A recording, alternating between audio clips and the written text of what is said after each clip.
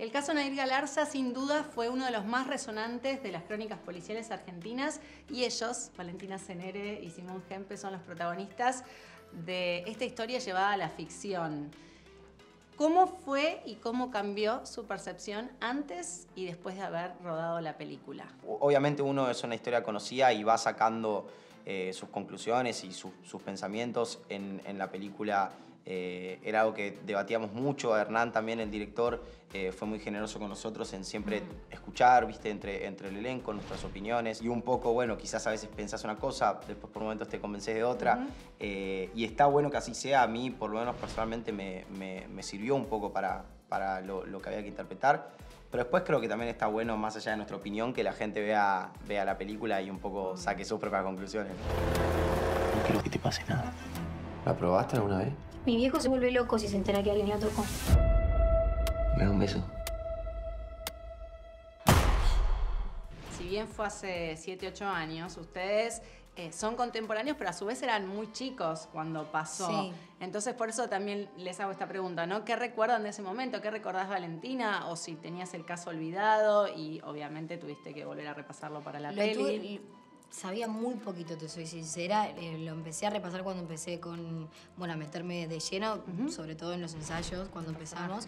Pero ya en las audiciones empecé ahí y me, me volvía loca, me encantaba el caso. Yo soy muy fan de las ficciones eh, basadas en hechos reales, tipo, me vuelven loca, me encanta, me veo todos los documentales. Ah, o sea, los documentales y las ficciones me vuelven loca. Entonces, para mí, eh, tener que hacer uno era como, wow, lo mejor que me podía pasar.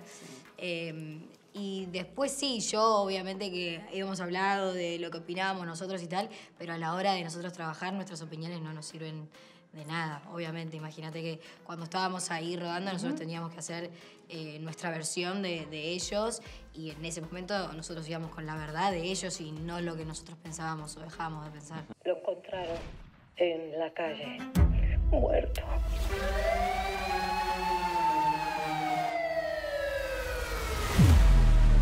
Tranquila, hija, no pasa nada. Quizá por eso preferiste no conocerla, Anair, porque tengo entendido que ella siguió todo el rodaje a través de las redes sociales, ¿Ah, sí? eh, bueno, lo que iban publicando, ¿no? Y que inclusive de alguna manera tenés el visto bueno de ella también para, para interpretarla. Qué bueno, qué eh, bueno.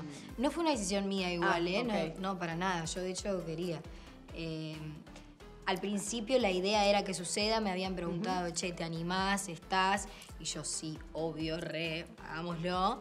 Y después por X motivo, no, no, no me acuerdo muy bien por qué, tampoco hubo un por qué así muy heavy, eh, sino que no sucedió y en un momento dijimos, bueno, soltamos y soltamos. ¿Y te gustaría encontrarte con ella ahora que ya está hecha?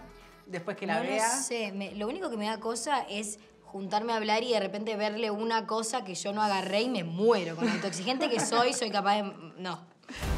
Es importante que la gente conozca otra Nair, más inocente, más feliz, no el monstruo que los medios quieren imponer.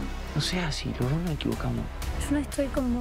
¿Cómo construyeron ese vínculo, no? Porque, bueno, todos sabemos el desenlace, sabemos que hay una víctima, que en este caso en la ficción sos vos, eh, Simón, por lo menos que ya no tiene vida, ¿no? Después podemos discutir quién es la víctima y quién es el victimario.